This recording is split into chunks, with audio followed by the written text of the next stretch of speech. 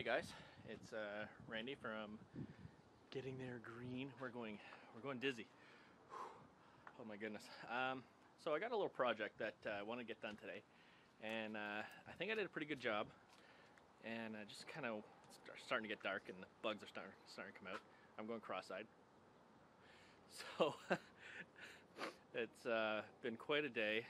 A lot that we've got done today, but. Uh, whew, I don't know if you guys remember, we had a huge pussy willow tree, bush, whatever, in our backyard. Um, I'm going to take you that way. I'm to try not to show you my project yet.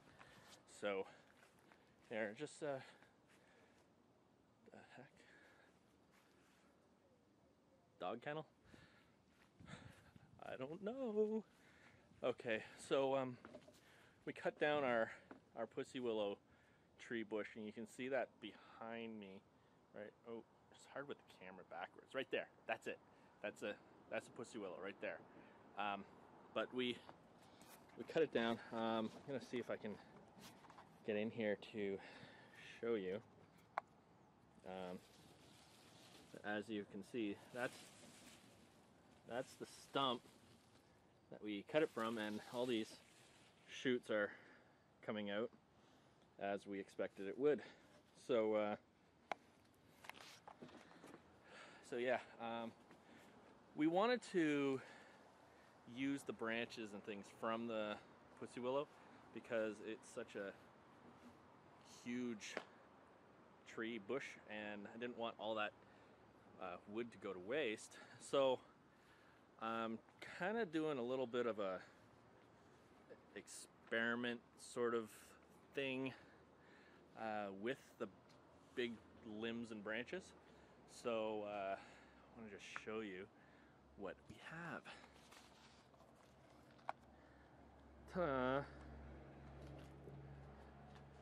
I've made a um, kind of a little trellis fence and I did a little work down here.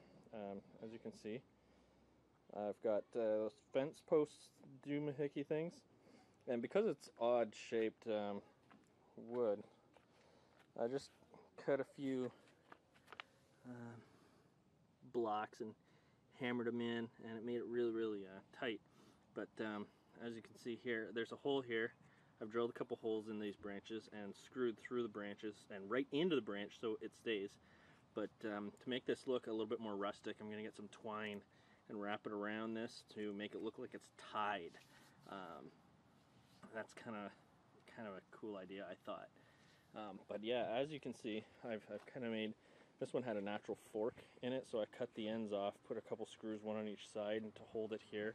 Um, as you can see, another one. See, there's the screw, but I'm going to take twine, you won't be able to see that screw. And then another one, it's got a cool knot at the top, so I thought that was kind of neat. So a couple screws, they're sunk right into the branch.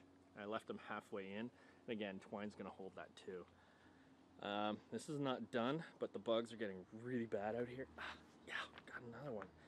Oh. And so this end I decided to put all of the thicker pieces at this end here. As you can see, more screws.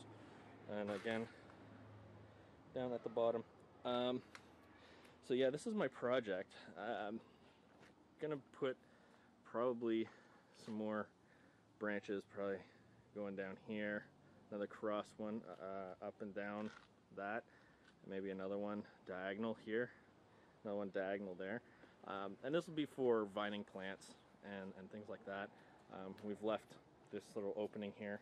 Uh, also remember that flooding problem? I'm working on a solution for that here as well.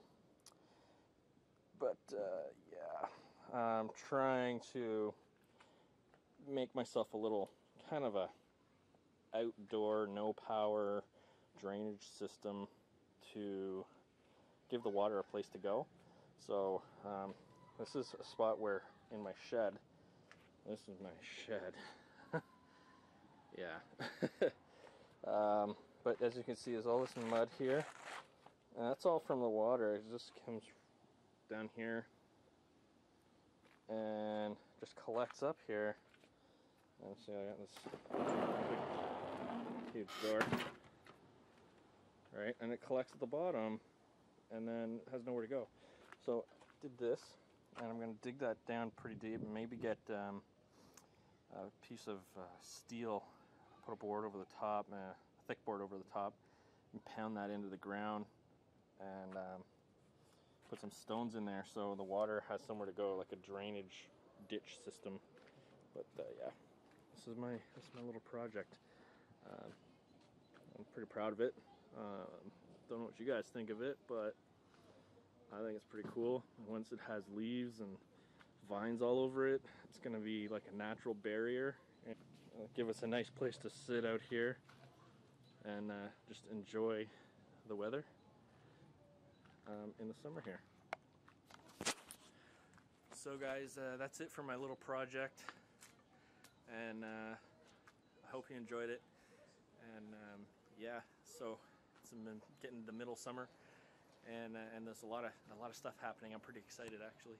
Uh, I just am in the middle of switching jobs right now too, so that's pretty cool. Um, if you like the videos, subscribe and uh, comment if you'd like. If you have ideas for me uh, or more video ideas for us, for both Amanda and myself, um, we'd love some suggestions. Um, of course, we try to answer as much as we can. We can't get to everybody sometimes. Um, but yeah, if you ask us a question directly, send us a message to our inbox and we will get to you or ask a question on the channel. Some well not the channel. Uh, we don't really answer the channel but we answer the video questions. Um, so just uh, post on the thing down low and uh, we'll get to you. All right bye guys